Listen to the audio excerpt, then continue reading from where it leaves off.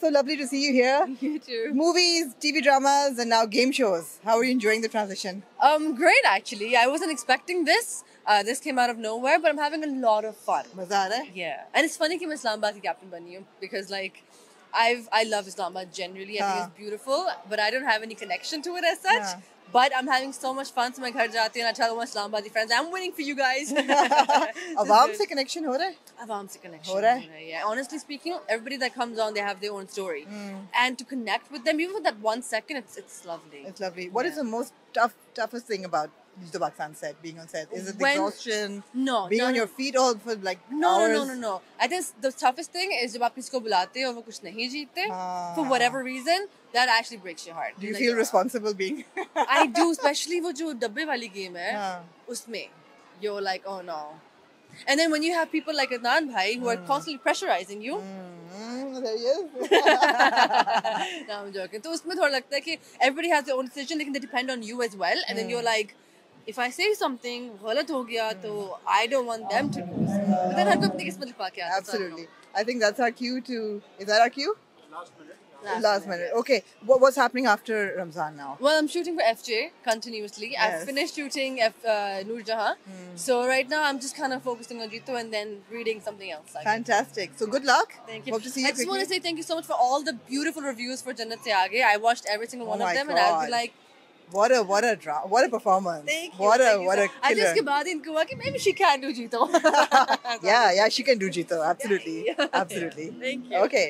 ARY के set पे हमारा हमारी जर्नी अभी का सिलसिला चल रहा है and we going from one set to the other और उसके बीच में एक बहुत ही अनमोल इंटरव्यू जे जे का जो जी Seja CEO of ARY network ये very hard to catch J J it's almost impossible but आज मुझे मिल गया आप तो कहा जो Thank you. 101 सवाल जो मेरे हैं वो इससे बेहतर मौका नहीं हो सकता Nidhi, thank you very much for covering uh, a day at ARY and uh, I hope you're enjoying your day. So the first thing is I want to say this on record कि I think कि Ramzan transmission इस साल इतनी disappointing है otherwise holistically that this is like the most entertaining जीतो Pakistan for me is the most entertaining show right now.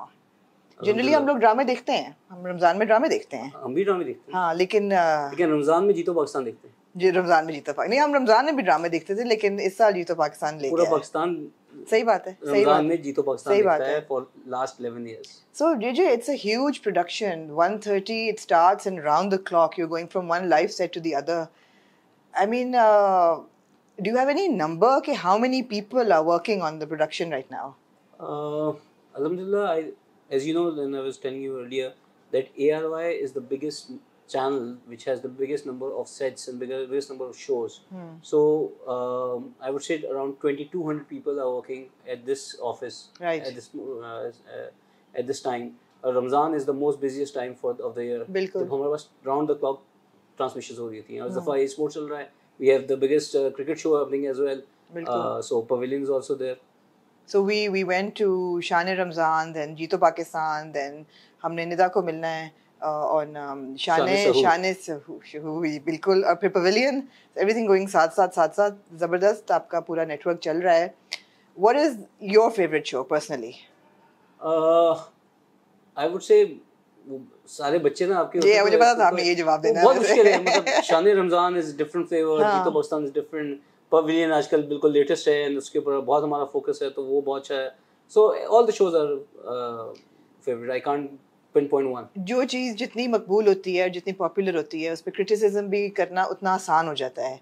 And every year there is some controversy तो नहीं मैं कहूँगी बट समथिंग और दी अदर जो लोग उठा के कोई ना कोई बात उछाल लेते हैं फॉर एग्जांपल ये बच्चों को सेट पे लाने की बात we we resolve that we talked about that मगर does that bother you or are you how do deal with that I I think success का एक पैरामीटर या आप कहें कि सक्सेस को अगर आपने जज करना हो तो उसके जितने लोग उसके बारे में बात करते हैं पॉजिटिव नेगेटिव उसी से पता चलता है। अगर उसके ऊपर नेगेटिव लोग बात नहीं करेंगे तो शायद वो इतना सक्सेसफुल नहीं होगा। So I believe that it's part and parcel आपको जब सक्सेस मिलती है तो आपके शोज़ के ऊपर क्रिटिसिज्म भी आती है।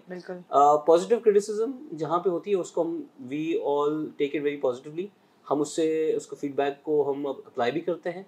And we have always improve because of the feedback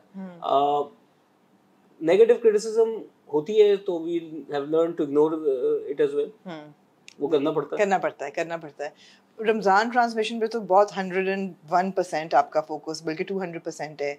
इसके अलावा जो कंटेंट बन रहा है जो ड्रामे बन रहे हैं हमारे are you satisfied with those Uh, I think I'm more than satisfied with dramas because Ramzan के अंदर see ARY is one channel in the country जो complete channel है which has got every type of content आपको इस पे shows मिलेंगे reality shows like तमाशा uh, आपके ultimate uh, Muqabla है have uh, uh, big dramas. मेरे पास तो मोहबिया चल रहा था मैं इसके अलावा अभी uh, बंस रोड के Romeo and Juliet have different and we are experimenting.